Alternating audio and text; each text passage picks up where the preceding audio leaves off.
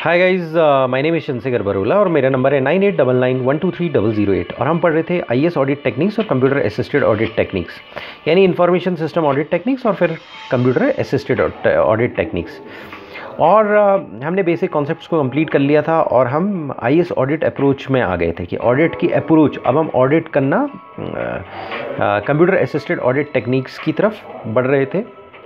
और पहले हमने आई ऑडिट अप्रोच पढ़ना स्टार्ट किया था। उसमें हमने ये जाना था, दो तरीके से ऑडिट होता है। एक ऑडिटिंग अराउंड द कंप्यूटर और एक ऑडिटिंग थ्रू द कंप्यूटर तो ऑडिटिंग अराउंड द कंप्यूटर हमने पिछले सेशन में पढ़ लिया था। ब्लैक बॉक्स अप्रोच को हमने पिछले सेशन में पढ़ लिया था। और हमने ये जाना था कि ब्लैक बॉक्स अप्रोच में क्या होता है? प्रोसेसिंग चेक नहीं होती। है मतलब जो कंप्यूटर के अंदर प्रोसेसिंग चेक नहीं होती, सब कुछ चेक होता है। मतलब डेटा फाइल्स कहाँ रखी जाएँगी? अनऑथराइज इनवैलिड अमेंडमेंट्स तो नहीं होते हैं। उनको कोई किसी डेटा को करेक्ट करना है तो कैसे होगा? प्रोसेसिंग इंस्ट्रक्शंस कि, किस तरीके से होते हैं? ऑपरेटिंग इवन ऑपरेटिंग इंस्ट्रक्शंस कैसे होते हैं? एक्यूरेसी और कंप्लीटनेस ऑफ़ डेटा है कि नहीं है? ये सारी चीज़ चेकिंग होती है। असल में बेसिकली इनपुट चेक होता है और आउटपुट चेक होता है। और उससे सारी चीज़ें इन्फर की जाती हैं और बाकी फिर देखा जाता है कि डेटा फाइल्स कहाँ रखी जा रही हैं। अगर कोई डुप्लीकेशन तो नहीं हो रहा है। ये सारी चीज़ें देख ली जाती हैं, लेकिन कंप्यूटर के अंदर लॉजिकली नहीं जाया जाता है।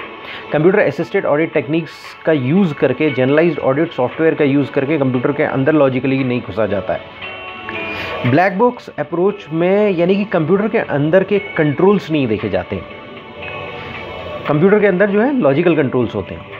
तो बेसिकली अगर हम समराइज़ करें तो हम ये कह सकते हैं ब्लैक बॉक्स अप्रोच में कंप्लायंस ऑडिट पूरी तरीके से नहीं होता है, यानी कि टेस्ट ऑफ़ कंट्रोल्स पूरी तरीके से नहीं होता है। कंट्रोल्स की टेस्टिंग पूरी तरीके से नहीं होती, क्योंकि प्रोसेसिंग आप चेक नहीं कर रहे हो तो कंट्रोल्स को चेक नहीं कर रहे हो।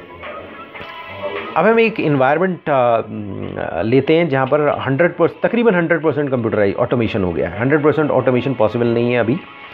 क्योंकि 100 परसेंट पॉसिबल तभी है जब आर्टिफिशियल इंटेलिजेंस आ जाएगी। और आर्टिफिशियल इंटेलिजेंस को आने में 25 साल से करीब 40 साल का फासला है। और नैरो एआई आ चुकी है, नैरो आर्टिफिशियल इंटेलिजेंस आ चुकी है, लेकिन ए जी आई जो जनरल इंटेलिजेंस है उसको 25 साल से 30 साल या 35 साल, कुछ लोग कहते हैं 40 साल का फासला है। और कुछ लोग 20 साल भी कहते हैं मतलब अलग अलग अनुमान है। तो 25 साल से 40 साल या 20 साल से 40 साल आने का भी फासला है। तो जब तक आर्टिफिशियल इंटेलिजेंस या आर्टिफिशियल जनरल इंटेलिजेंस नहीं आ जाती तब तक 100 परसेंट ऑटोमेशन अवेलेबल पॉसिबल नहीं है। लेकिन थोड़ी देर के लिए समझ लेते हैं कि अकाउंट्स डिपार्टमेंट अकाउंटिंग जो है आ, वो ऑटोमेटेड है। मतलब 100 परसेंट तकरीबन 90 परसेंट ऑटोमेशन पॉसिबल है। ईआरपी e जहाँ पर लगी है हाईली कॉम्प्लेक्स ईआरपी लगी है वहाँ पर मैसिव ऑटोमेशन है। मतलब वहाँ पर ये समझ लीजिए 90 परसेंट ऑटोमेशन हो गया। ट्रेडिशनल मेथड से अगर आज कंपेयर किया जाए, वहाँ 90 परसेंट ऑटोमेशन हो गया और ऑटोमेशन बढ़ता चला जा रहा है। अब एक ऐसे इन्वायरमेंट में जहाँ पर थोड़ी देर के लिए हम ये समझ लेते हैं हंड्रेड परसेंट ऑटोमेशन है। आपका एंट्री होती है, अगर मान लिया सपोज़ एक बैंक है तो वहाँ पर क्या है कि आदमी जो है इलेक्ट्रॉनिक मनी आ गई सपोज़ ये आजकल इलेक्ट्रॉनिक मनी की तरफ़ कई कंट्री जा रहे हैं। डेनमार्क जा रहा है, आपका अफ्रीका के कई कंट्री गए हैं। इसराइल ने बोल दिया है कि इलेक्ट्रॉनिक मनी होगा। यानी कि सारी की सारी मनी इकोनॉमी से गायब हो जाएगी, केवल ई मनी होगा। यानी कि आप के नोट्स गायब हो जाएँगे फ़िज़िकल मनी गायब हो जाएँगे, यानी पहले थाउज़ेंड रुपीज़ के नोट्स अगर इंडिया में वो लागू होगा तो इस, कुछ इस तरह से लागू होगा कि थाउज़ेंड रुपीज़ के नोट्स गायब हो जाएँगे, फिर पाँच सौ के गायब होंगे, फिर सौ के गायब होंगे, फिर पचास के गायब होंगे। और धीरे धीरे क्या है, सारे नोट्स गायब हो जाएँगे। तो डेनमार्क इस तरफ़ बढ़ना स्टार्ट हो गया स्कैंडिनेवियन कंट्रीज़ इस तरफ़ बढ़ रही हैं स्वीडन इस तरफ़ बढ़ रहा है, उसकी करीब पचानवे परसेंट से ज़्यादा इकोनॉमी ई इकोनॉमी है आज की डेट में। और और भी कंट्री ई इकोनॉमी की तरफ़ बढ़ते चले जा रहे हैं। तो सपोज़ ई इकोनॉमी आ गई है। ई इकोनॉमी आ गई है और डेनमार्क में इकोनॉमी आ गई है और वहाँ पर एक फाइव स्टार होटल है। आप डेनमार्क घूमने जाते हैं फाइव स्टार होटल में जाते हैं और अपना पैसा कन्वर्ट कराते हैं और वो आपको ई इकोनॉमिक चिप दे देते हैं। अब आप उस होटल में चेक इन करते हैं। चेक इन करते ही आप अलग अलग जाते, जगह जाते हैं। मालूम पड़ा, आप रूम में जाते हैं, पहले अपना कार्ड स्वाइप करते हैं, ऑटोमेटिकली पैसा उसके अकाउंट में ट्रांसफ़र हो जाता है। फिर आप रिफ़्रेश होने के लिए नीचे जाते हैं और वहाँ पर कोई रेस्टोरेंट के अंदर जाते हैं, कुछ खाना खाते हैं और फिर कार्ड स्वाइप करते हैं और पैसा ट्रांसफ़र हो जाता है। अब आप डेनमार्क के उस होटल में गए पैसा ट्रांसफ़र हुआ, ऑटो, आप ये समझिए वो हाईली ऑटोमेटेड होटल है। और उसमें क्या है कि आज की डेट में होता भी ऐसे ही है, जो फाइव स्टार होटल्स हैं, वहाँ पर अगर किसी उसके रेस्टोरेंट में आप जाओगे तो उसमें क्या है कि आप कार्ड स्वाइप करोगे तो ऑटोमेटिकली आपका मेन्यू निकल जाता है। उसने वहाँ पर आदमी खड़ा है, जो आपको सर्विस दे रहा है, उसने बटन दबाया और आपका एंट्री की सिस्टम है आपने उसे पैसा पे किया? इंडिया में होते तो फिज़िकली पे करते या एटीएम कार्ड से पे करते या डेबिट कार्ड से पे करते या क्रेडिट कार्ड से पे करते? वहाँ पर हैं तो वहाँ पर आप इलेक्ट्रॉनिक मनी पे कर रहे हैं। इलेक्ट्रॉनिक मनी पे करते ही वो पैसा आपके अकाउंट में चला गया। एंट्री ऑटोमेटिकली ईआरपी में फ्लो हो गई। होटल्स में प्रोलॉजिक करके एक सॉफ्टवेयर आता है, वो लगा होता है जनरली तो एंट्री ऑटोमेटिकली उस सिस्टम में फ्लो हो गई। अब एंट्री जो भी एंट्री आ रही है डेनमार्क जैसे कंट्री में, जहाँ पर हाईली ऑटोमेटेड सिस्टम्स है जहाँ पर आपके थोड़ी देर के लिए मान लीजिए कि 100 परसेंट ऑटोमेशन तो 100 परसेंट ई करेंसी आ गई है। तो आप पैसा पे नहीं कर सकते फ़िज़िकल मनी पैसा नहीं, पे नहीं कर सकते, आप ई मनी पे करेंगे केवल। तो आपने जैसे ही ई मनी पे किया, उस होटल के बैंक अकाउंट में उतना पैसा क्रेडिट हो गया और अकाउंटिंग एंट्री ऑटोमेटिकली फ्लो कर गई। और अकाउंटिंग एंट्री ने ऑटोमेटिकली आपकी बैलेंस शीट तक हिट कर गई वो अकाउंटिंग एंट्री इनिशियली हो सकता है कि एक मैनुअल इंटरफेस हो अकाउंटिंग एंट्री रेस्टोरेंट से ट्रैवल करे हुए इलेक्ट्रॉनिक सिग्नल्स और क्या कहते हैं, आपके अकाउंटेंट के पास जाए और ड्राफ्ट के रूप में ऑटोमेटिकली सेव हो जाए। और अकाउंटेंट उस ड्राफ्ट को देखे और ओके ओके ओके करे तो ऑटोमेटिकली एंट्री सिस्टम में चली जाए। बाद में उस आदमी की भी ज़रूरत नहीं रहेगी। तो ऑटोमेटिकली एंट्री फ्लो करना स्टार्ट करेगी। तो ये समझ लीजिए ऑटोमेटिकली एंट्री फ्लो कर गया ये सिस्टम्स हैं आज की डेट में। आज की डेट में आप किसी अच्छे फाइव स्टार होटल में जाते हैं तो वहाँ पर ऐसे सिस्टम्स हैं कि ऑटोमेटिकली जो है जो अगर आपने क्रेडिट कार्ड से या डेबिट कार्ड से पे किया है तो ऑटोमेटिकली उनके अकाउंटिंग सिस्टम में एंट्री फ्लो कर जाती है। और उनकी बैलेंस शीट को अपडेट कर देती है। तो यानी कि ऐसे पर्टिकुलर सिस्टम में आप ऑडिट करने जाते हैं। अब वहाँ पर क्या है दो एक अकाउंटेंट बैठे हैं केवल दो चार तीन अकाउंटेंट बैठे हैं। और आप बोलते हैं कि जी आप एंट्री ऐसे डालते हो वो कहते हैं कि जी एंट्री तो ऑटोमेटिकली डलती है। हम कुछ नहीं करते हैं इसमें। एंट्री तो ऑटोमेटिकली डलती है बोलते हैं वाउचर वाउचर वो बोलते हैं वाउचर की क्या ज़रूरत है? आप सिस्टम को देखो सिस्टम को ऑडिट कर लो। तो ऐसे इन्वायरमेंट में हम्म, आप कैसे ऑडिट करोगे? आप ब्लैक बॉक्स अप्रोच नहीं अपना सकते। इनपुट ऑटोमेटिकली जा रहा है आउटपुट ऑटोमेटिकली आ रहा है।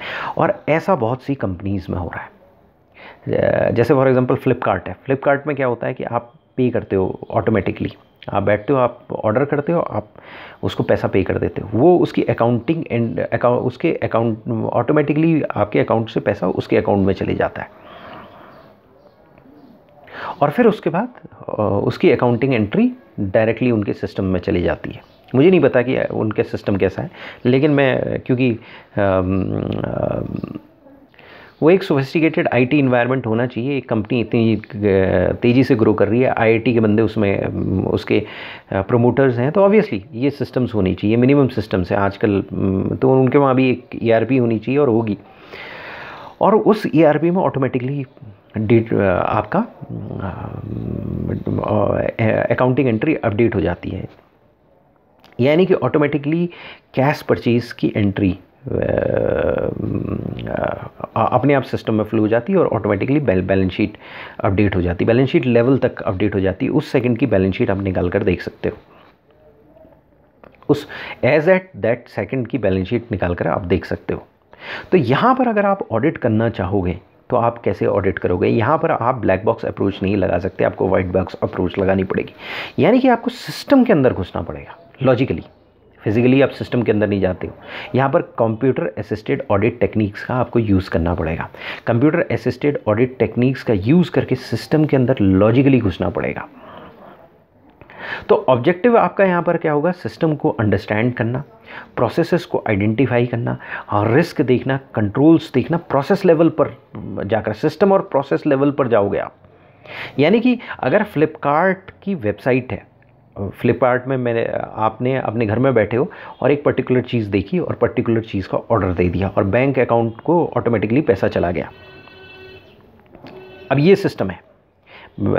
और फिर वो ऑटोमेटिकली आपकी फ्लिपकार्ट की ईआरपी e में जो वहाँ पर ईआरपी e है या उनका जो अकाउंटिंग सिस्टम है, उसमें ऑटोमेटिकली एंट्री आ गई। तो अब आपको एंट्री देखनी है। यहाँ पर नॉर्मल ऑडिट ट्रेल नहीं है। यहाँ पर केवल इलेक्ट्रॉनिक सिग्नल चल रहे हैं, बल्कि ऐसा हुआ कि यहाँ पर मैंने जब परचेज़ की, मैं एज ए इंडिविजुअल मैंने परचेज़ की तो इलेक्ट्रॉनिक सिग्नल्स मूव किए। बैंक को इलेक्ट्रॉनिक सिग्नल्स मूव किए, मेरे क्रेडिट कार्ड का नंबर मेरा पासवर्ड बैंक को मूव किया फ्लिपकार्ट को इलेक्ट्रॉनिक सिग्नल्स मूव किए। उसके बैंक में अकाउंट में उतना पैसा आ गया, यानी कि इलेक्ट्रॉनिक सिग्नल्स बैंक को पहुँचे इलेक्ट्रिकल सिग्नल्स को पहुँचे। फ्लिपकार्ट के पास भी वो इलेक्ट्रिकल सिग्नल्स पहुँचे। उन्होंने कहा, इतना पैसा मेरे बैंक अकाउंट में आ गया। फ्लिपकार्ट ने बोला। बैंक ने उसे क्रॉस वेरीफाई किया, इतना पैसा आ गया। ये एंट्री अकाउंटिंग सिस्टम में फ्लो की। उसके बाद वो ऑर्डर वेंडर को प्लेस हो गया। वेंडर को एड्रेस वगैरह सब पता चल गया। वेंडर ने डिलीवर किया, जैसे डिलीवरी साइकिल पूरी हुई या क्रेडिट पीरियड जो भी वेंडर का, उसके अकाउंट में उसका पैसा चला गया। यानी वेंडर से फ्लिपकार्ट ने एक पर्टिकुलर कमीशन चार्ज कर लिया बीच में। और वो उसमें क्या है कि जो अब जो यहाँ पर अकाउंटिंग एंट्री का फ्लो हो रहा है, वो इलेक्ट्रॉनिक सिग्नल्स का फ्लो हो रहा है। वो सारा काम इलेक्ट्रॉनिक सिग्नल्स कर रहे हैं। अब ये ट्रांजेक्शन मल्टीपल ट्रांजेक्शन नहीं है, ध्यान से देखा जाए तो। एक सिंगल ट्रांजेक्शन है सीरीज़ ऑफ़ ट्रांजेक्शन एक सिंगल ट्रांजेक्शन पहले क्या होते थे कि सीरीज़ ऑफ़ ट्रांजेक्शन होते थे। अब ये सीरीज़ ऑफ़ ट्रांजेक्शन इंटीग्रेट होकर एक सिंगल ट्रांजेक्शन हो गया है। और ये पहले ट्रांजैक्शन क्या होता था कि आपने परचेज़ का ऑर्डर दिया तो परचेज़ डिपार्टमेंट में गया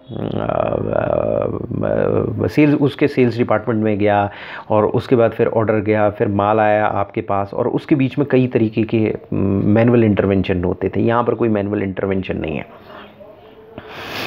यहाँ पर ऑर्गेनाइजेशनल बाउंड्रीज भी टूट गई हैं। वेंडर उसके जो वेंडर्स वेंडर को डायरेक्टली इन्फॉर्म पता चल जा रहा है कि ये ये पर्टिकुलर आइटम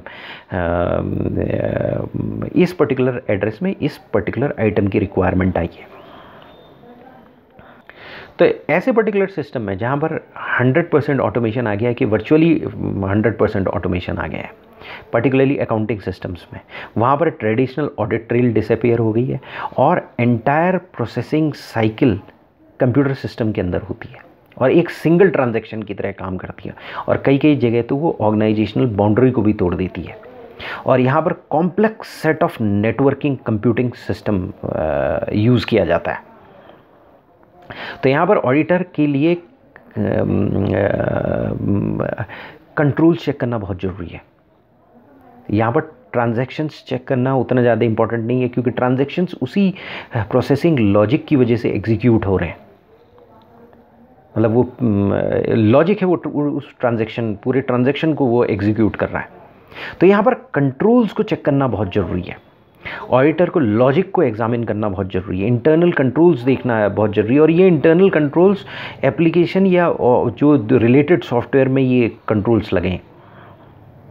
तो ऑडिटर को ये देखना पड़ेगा कि ये टेक्निकल एक्यूरेसी है कि नहीं है सिस्टम सही तरीके से काम कर रहा है कि नहीं कर रहा है। उसमें चेक्स और कंट्रोल सही तरीके से काम कर रहे हैं कि नहीं कर रहे हैं। एरर हो रहा है तो उसका डिटेक्शन हो हो पा रहा है कि नहीं हो पा रहा है। डेटा सिक्योरिटी प्रोसीजर्स क्या हैं? तो इसके लिए ऑडिटर को क्या करना पड़ेगा? सिस्टम के अंदर लॉजिकली घुसना पड़ेगा और एक सॉफ्टवेयर का इस्तेमाल करना पड़ेगा और वाइट बॉक्स अप्रोच इस्तेमाल करनी पड़ेगी। अब यहाँ पर ऑडिटर इंटरनल ऑडिट के लिए आया है। तो उसको अपने इंटरनल ऑडिट के ऑब्जेक्टिव्स को मीट आउट करने के लिए इंफॉर्मेशन टेक्नोलॉजी का यूज़ करना पड़ेगा। मतलब अगर वो इफेक्टिवली ऑडिटिंग ऑब्जेक्टिव्स को मीट आउट कर रहा है, वहाँ पर जाकर देखेगा क्या? पूरे सिस्टम के अंदर इलेक्ट्रॉनिक सिग्नल्स चल रहे हैं। बाहर तो कुछ है ही नहीं। इनपुट तो मैंने दिया।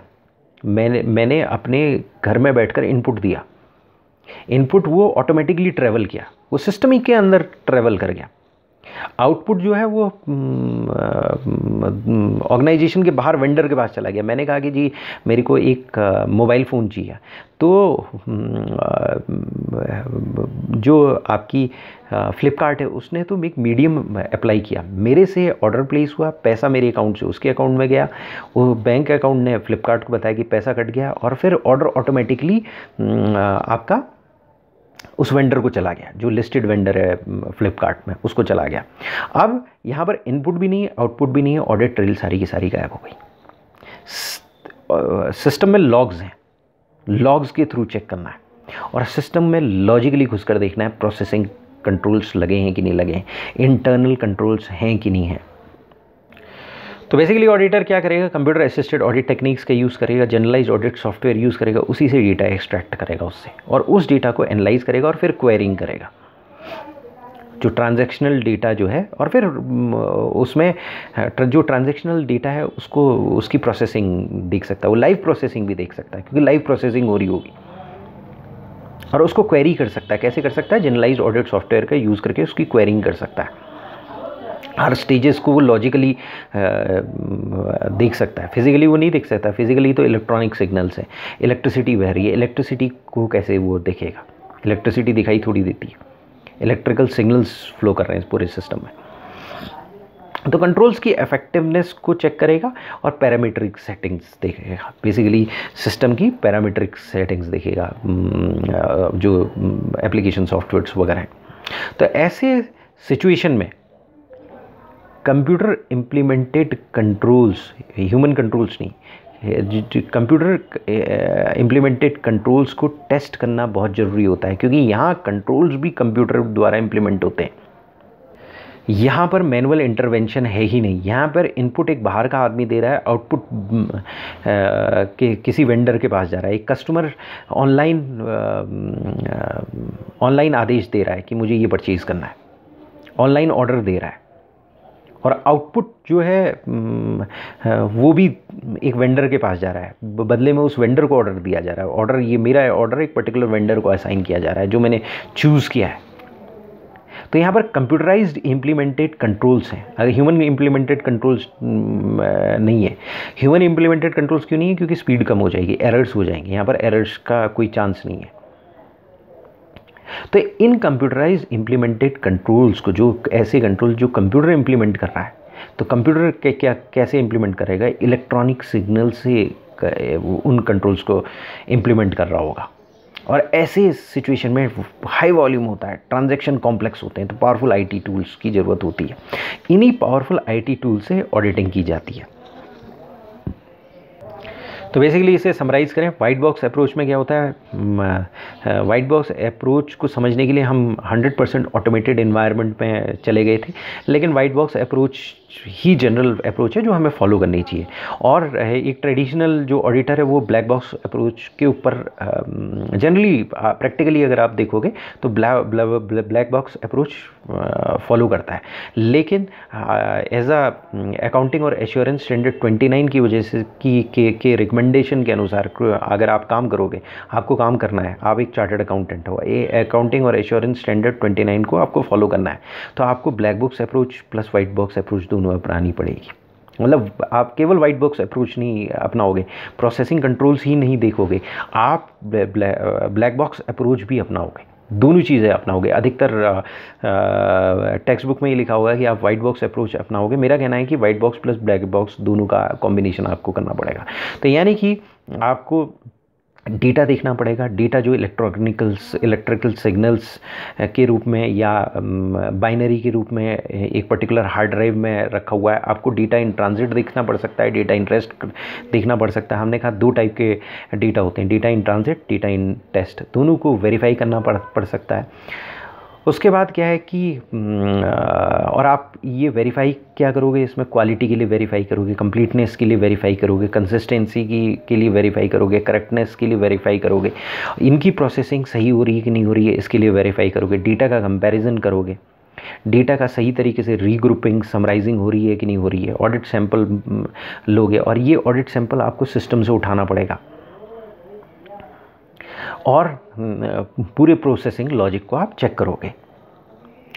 और फिर आप प्रोसेसिंग लॉजिक को चेक करके फिर कंट्रोल्स देखोगे। अब कंट्रोल्स जो हैं वो हर लेवल पर देखोगे। हार्डवेयर के लेवल पर देखोगे ऑपरेटिंग सिस्टम के लेवल पर देखोगे डेटाबेस के लेवल पर देखोगे एप्लीकेशन सॉफ्टवेयर के लेवल पर देखोगे। मतलब अलग अलग लोगों का अलग अलग लेवल ऑफ़ ऑथराइजेशन होगा। अब हमने ये बोला है, हमने जब हम ऑपरेटिंग सिस्टम पढ़ रहे थे तो हमने बोला कि उसमें कर्नेल होता है। ऑपरेटिंग सिस्टम आपके हार्डवेयर से कम्युनिकेट कर रहा होता है।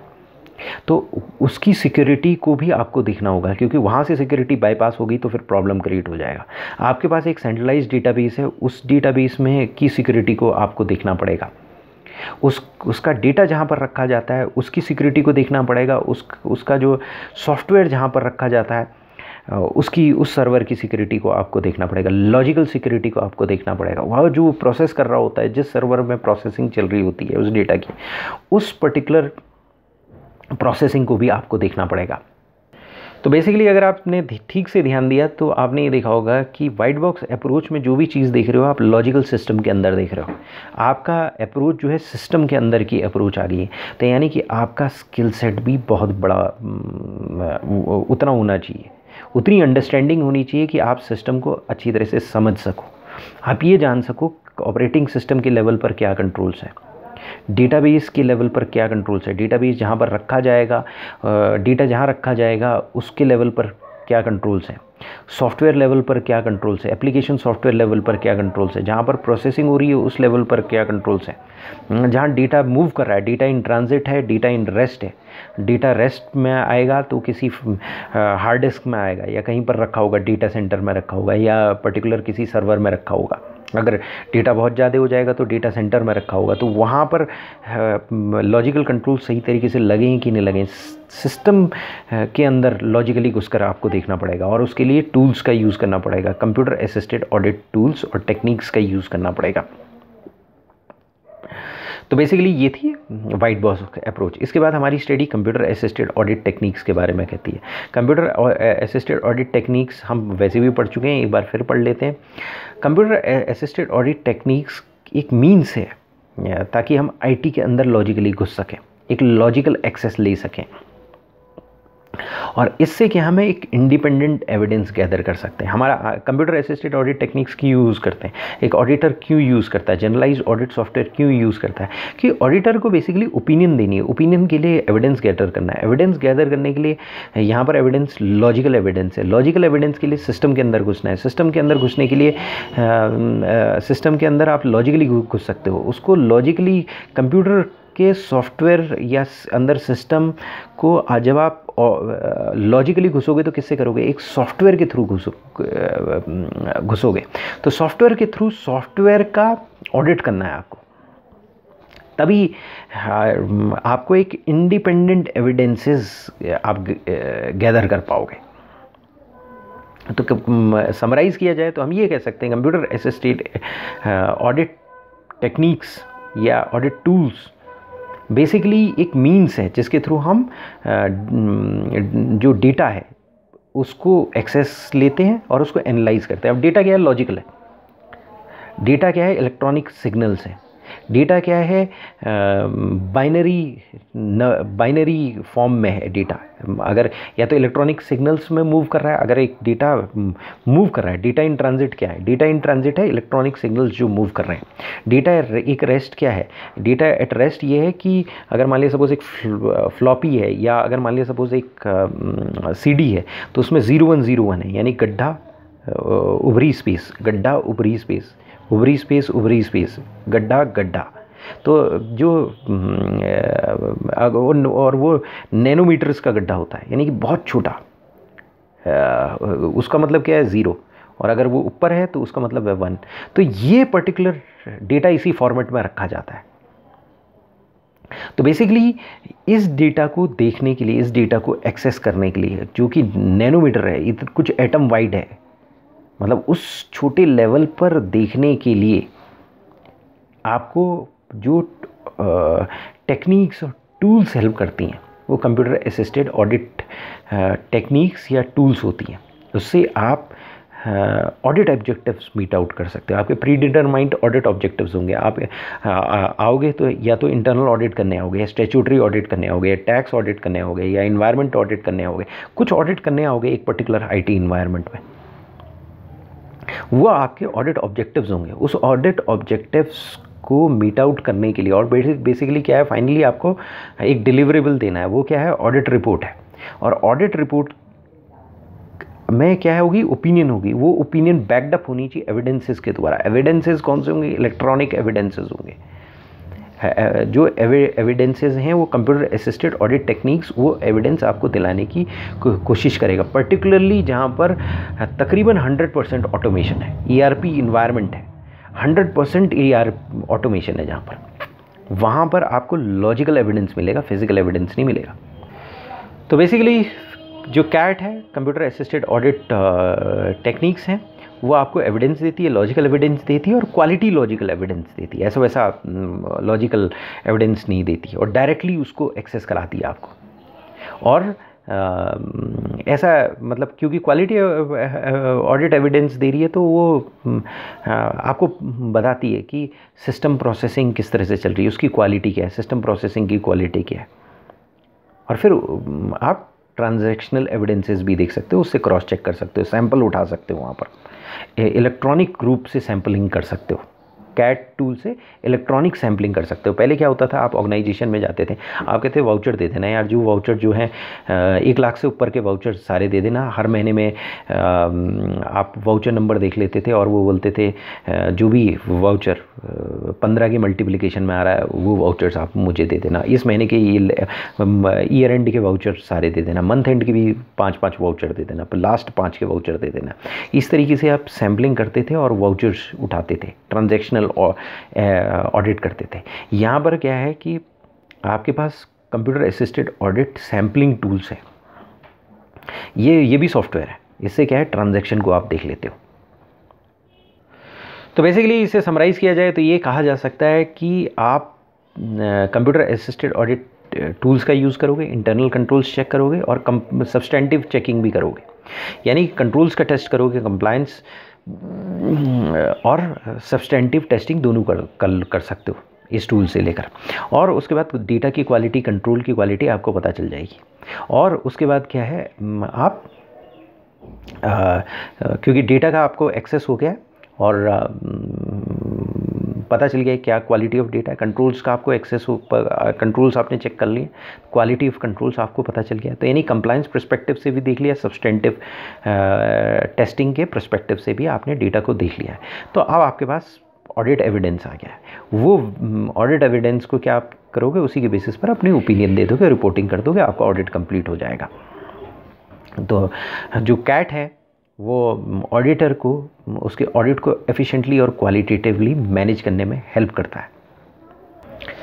इसके बाद हमारी स्टडी में गाइडेंस नोट दिया हुआ है गाइडेंस नोट के बारे में बताया हुआ है कि इंस्टीट्यूट ऑफ़ चार्टर्ड अकाउंटेंट ने गाइडेंस यू नोट इशू किया है कंप्यूटर असिस्टेड ऑडिट टेक्निक्स में। और उसमें किस तक क्या क्या चीज़ें आप चेक करोगे, इसके बारे में हमारी स्टडी बताती है। तो जनरली बेसिकली क्या है गाइडेंस नोट में क्या दिया हुआ है? गाइडेंस नोट में ये दिया हुआ है कि आप एनालिटिकल प्रोसीजर्स अप्लाई करोगे कंप्लाइंस प्रोसीजर अप्लाई करोगे।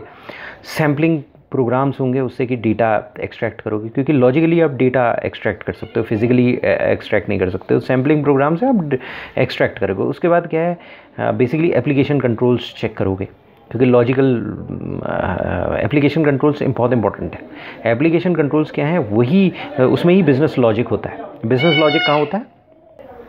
जो भी आपके लीगेसी सॉफ्टवेयर्स होंगे ई e होगा, उसमें बिज़नेस लॉजिक होगा। तो बिज़नेस लॉजिक कहाँ होता है? एप्लीकेशन प्रोग्राम्स में होता है। तो वहाँ पर आपको एप्लीकेशन कंट्रोल्स को चेक करना ज़रूरी है, क्योंकि वो वो प्रोसेसिंग कर रहे हैं बेसिकली आपकी डेटा की।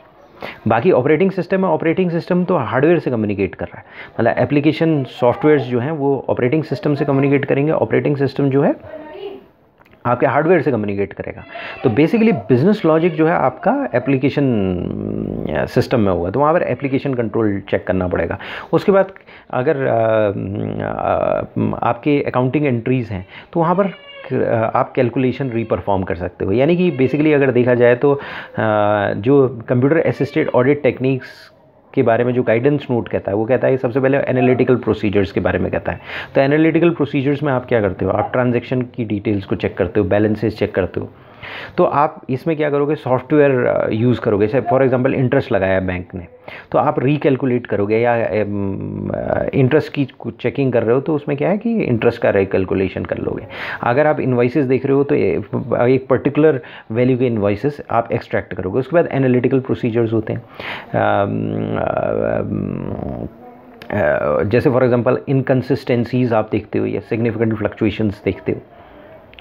तो बेसिकली जो सब्सटेंटिव प्रोसीजर्स हो सकते हैं, वो दो टाइप के हो सकते हैं। एक सब्सटेंटिव प्रोसीजर्स जो है सब्सटेंटिव एनालिटिकल प्रोसीजर्स हो सकते हैं और एक नॉर्मल सब्सटेंटिव प्रोसीजर्स हो सकते हैं। तो सब्सटेंटिव प्रोसीजर्स में पहला क्या है, आपने डिटेल्स देखी ट्रांजेक्शन और बैलेंसेज देखे।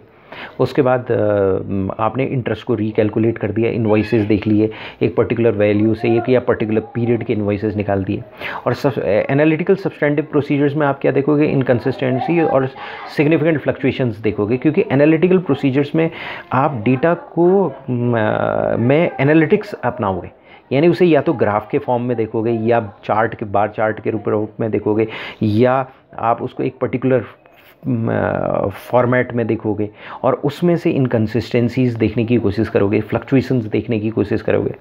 उसके बाद क्या है कि कंट्रोल कंप्लाइंस प्रोसीजर आप चेक कर सकते हो। कंप्लाइंस प्रोसीजर कैट कहता है कि जनरल कंट्रोल्स देख सकते हो। जनरल कंट्रोल्स में क्या देखोगे? बेसिकली क्या है कोड्स देखोगे। मतलब सबसे पहले तो क्या है कि आप कॉन्फ़िगरेशन देख लोगे। सेटअप या कॉन्फ़िगरेशन को टेस्ट कर लोगे ऑपरेटिंग सिस्टम का कॉन्फ़िगरेशन क्योंकि ऑपरेटिंग सिस्टम जो है उसके ऊपर एप्लीकेशन आपके एप्लीकेशन प्रोग्राम चल रहा है। अब एप्लीकेशन प्रोग्राम जो है वो एप्लीकेशन प्रोग्राम जो है बिज़नेस लॉजिक लिए हुए मोस्टली एप्लीकेशन प्रोग्राम है। कई सॉफ्टवेयर्स होते हैं, वो उसको क्लासीफाई करना मुश्किल हो जाता है कि वो एप्लीकेशन प्रोग्राम एप्लीकेशन प्रोग्राम से कि ऑपरेटिंग सिस्टम है? क्योंकि वो ऑपरेटिंग सिस्टम के लेवल में जाकर हार्डवेयर से भी कम्युनिकेट कर रहे होते हैं। तो बेसिकली लेकिन जो बेसिकली हम ये मानते हैं कि एप्लीकेशन सिस्टम है और एप्लीकेशन प्रोग्राम्स हैं और ऑपरेटिंग सिस्टम है। तो बेसिकली आप जनरल कंट्रोल्स में क्या देखोगे जो ऑपरेटिंग सिस्टम है उसका सेटअप और कॉन्फ़िगरेशन देखोगे। अगर कोई प्रोग्राम लाइब्रेरी है तो उसमें कैसे एक्सेस किया जा सकता है? क्योंकि प्रोग्राम लाइब्रेरीज़ में एक्सेस होना अनऑथराइज व्यक्ति का एक्सेस होना डेंजरस है, क्योंकि वही प्रोग्राम उस ऑपरेटिंग सिस्टम या उस सॉफ्टवेयर को चला रहा है, आप कोड कंपैरिजन सॉफ्टवेयर यूज़ कर सकते हो। अगर प्रोप्राइटरी सॉफ्टवेयर है तो बात अलग है, जैसे विंडोज़ है, वो प्रोप्राइटरी सॉफ्टवेयर है। उसका आपको लॉजिक आपको नहीं हो आपके पास नहीं होगा। लेकिन अगर मान लीजिए सपोज़ इन हाउस आपने एक सॉफ्टवेयर डेवलप कर रखा है तो कोड कंपैरिजन सॉफ्टवेयर यूज़ कर सकते हो। और फिर वर्जन देख सकते हो। वर्जन मैनेजमेंट ने अप्रूव किया है कि नहीं किया है? क्योंकि ये अपडेशन होते रहते हैं। अपडेशन होते रहेंगे तो वर्जन चेंज होता रहेगा। उसके अलावा सैम्पलिंग के लिए यूज़ कर सकते हो, डेटा को एक्सट्रैक्ट करने के लिए। मतलब लॉजिकली या तो आप उसे पैरामीटर्स दे दो कि ये ये पैरामीटर्स हैं, इस डेट का डेटा निकालो, इतने इतने अमाउंट से ऊपर का डेटा निकालो। लेकिन कई सैम्पलिंग प्रोग्राम्स होते हैं, उसमें ऑटोमेटिकली वो लॉजिक फीडेड होता है। उसके बाद आप एप्लीकेशन कंट्रोल्स चेक करोगे परफॉर्मेंस कैलकुलेशन करोगे। तो बेसिकली ये सारी चीज़ें कंप्यूटर असिस्टेड ऑडिट टेक्निक्स में देखोगे और यही हमारा गाइडेंस नोट कहता है। तो ये समराइज्ड ऑडिट प्रोसीजर्स थे कंप्यूटर असिस्टेड ऑडिट टेक्निक्स के जो